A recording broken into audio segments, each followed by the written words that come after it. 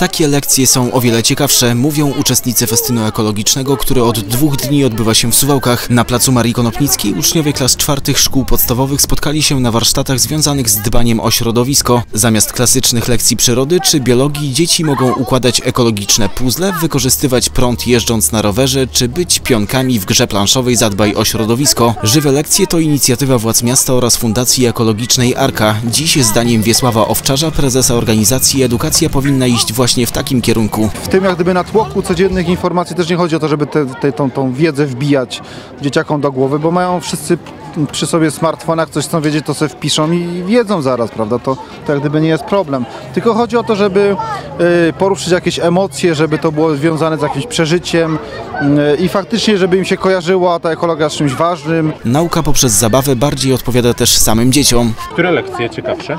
Takie w szkole czy tutaj? Tutaj. tutaj. Dlaczego? Tak, no bo No w szkole trzeba się uczyć. kartkówki są słodziane, a tutaj nie. Zabawa. Tak, szanujemy nasz świat i sprzątamy, żebyśmy nie rzucali śmieci na niego. Na razie byliśmy tylko y, właśnie przy tych puzzlach. Fajnie było, bo ka- każdy razem współpracowaliśmy. Pomagać z niej na przykład sprzątać, jak są różne okazje. I Podczas festynu swoich podopiecznych prezentowało też podsuwalskie schronisko dla zwierząt, namawiając do adopcji czworonogów.